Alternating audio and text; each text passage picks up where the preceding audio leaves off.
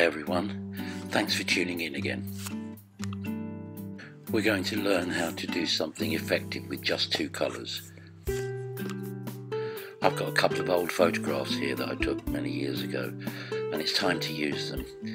You won't need a lot of materials, two colours, burnt umber and cobalt blue and two brushes, a one inch flat and a number eight round.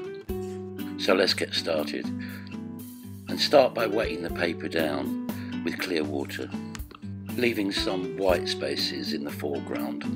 Use a strong mix of the two colours to start with until it resembles a dark grey and push this in to the wet area. This will form the dark distant tree line.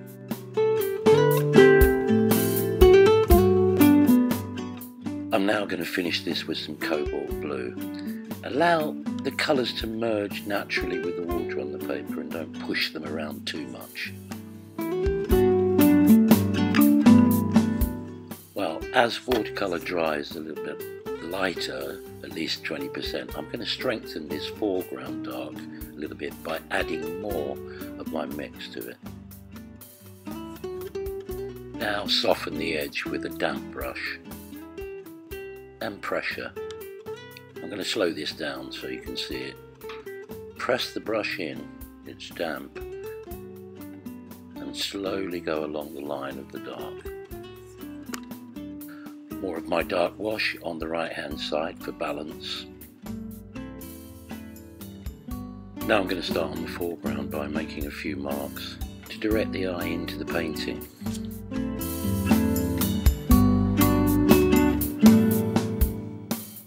I'm using a little bit more burnt umber here. Yeah, this warmer tone will help the eye move forward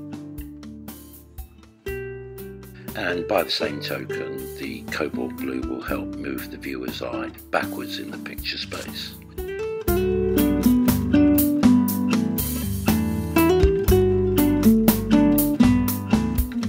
Yeah, and have some fun with the foreground, creating textures, dragging the brush, adding water, creating soft and hard edges. But don't forget to leave some white space, otherwise you'll cover up all your lovely snow.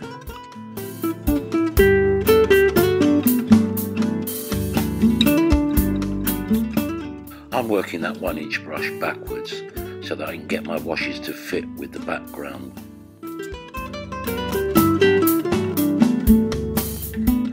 Well now for the trees.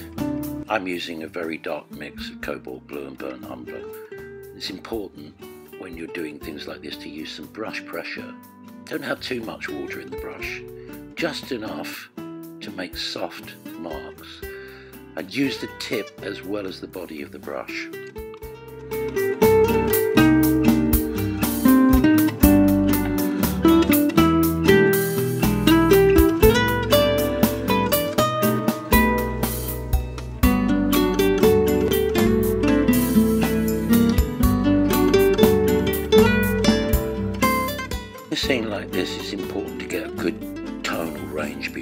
Dark and light.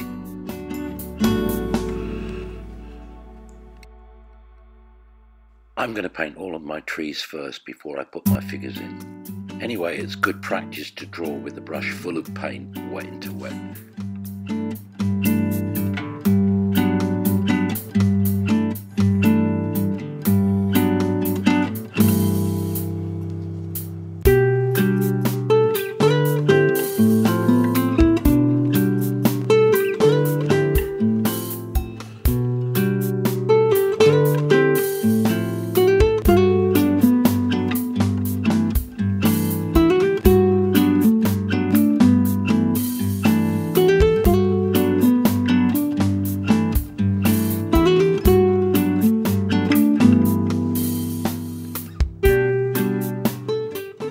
Strengthening some of the darks here and now I'm almost happy with the stage setting for my figures. Can't wait to put them in. But before we do that, some more texture in the foreground and some lines leading the eye into the picture. Oh, this is almost pure pigment here, but I love to skip the brush across the paper. Make it scumble and create texture on the surface.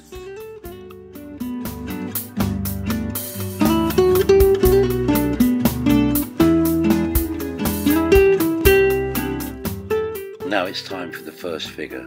Start off with the head first. The size of the head will determine the rest of the proportions of the figure.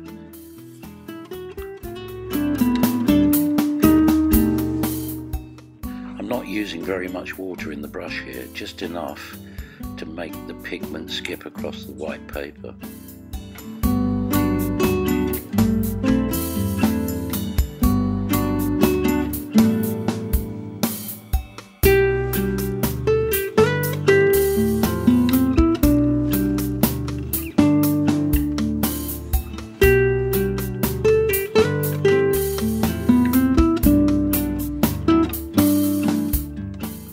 Yeah, your round brush should come to a nice fine tip. And it's useful to do these kind of marks just using the tip.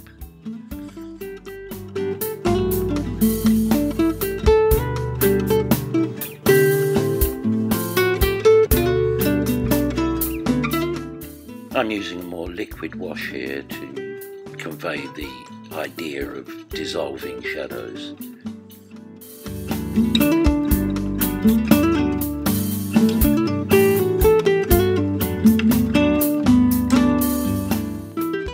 Again, starting with the head of the figure, going to move down the body and try to connect both of them. This is the same dark wash that I used earlier on. When you look back at your photographs, uh, try not to get involved in too much detail, just look for basic shapes.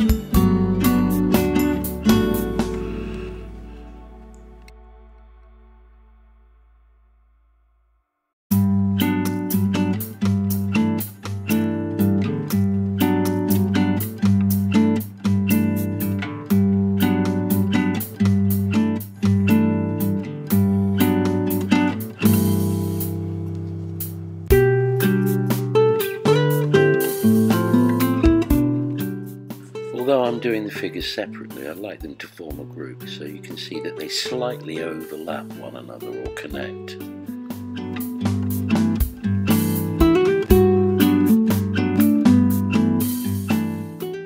And for these background figures I'm using a lighter shade of grey.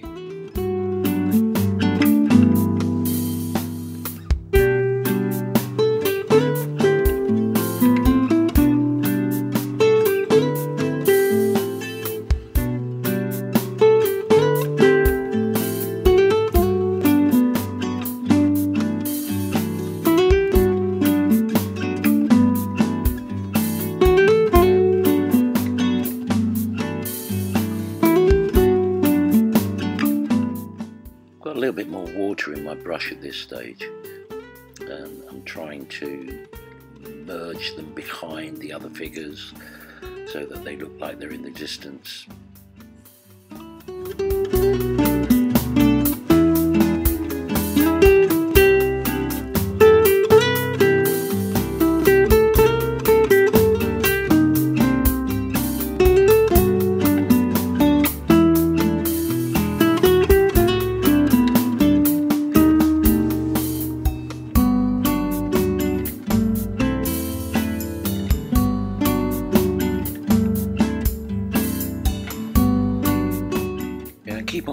With your figures until you, you're happy with the whole scene.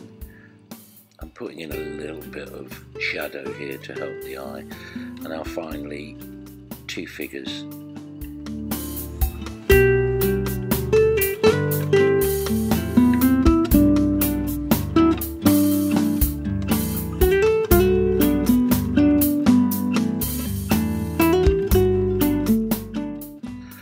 Decided to go back to this figure and give him a longer coat.